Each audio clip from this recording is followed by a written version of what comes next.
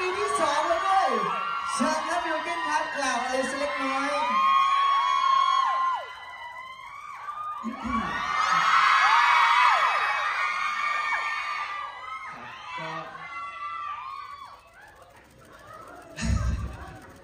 ครับก็ดีใจมากๆเลยนะครับ ผมที่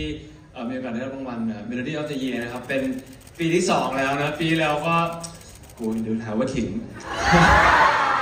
ก็ดีใจนะจริงๆแล้วก็เป็นรางวัลที่ มันเป็นรางวัลที่ทำให้เราได้รู้สึกว่าเราได้รับการให้คุณค่าจากการทำงานจากตัวตน แล้วก็สิ่งที่เราอยากจะนำเสนอไปนะครับ ผมขอบคุณทุกๆคนที่ที่สปอร์ตเพลงนี้ แล้วก็ทำให้เอ่อ Mr. Everything นะครับ ผมได้เป็น Melody of the Year ปีนี้รวมถึงอ่าชอบตัวเองของปีที่แล้วด้วยนะครับ ขอบคุณพี่แทนลิปตานะครับเมื่อกี้เพิ่งจะขึ้นมาโชว์ขอบคุณทีมงาน Milkin Entertainment ทุกคน แล้วก็ขอบคุณทุกๆคนที่สุดครับผม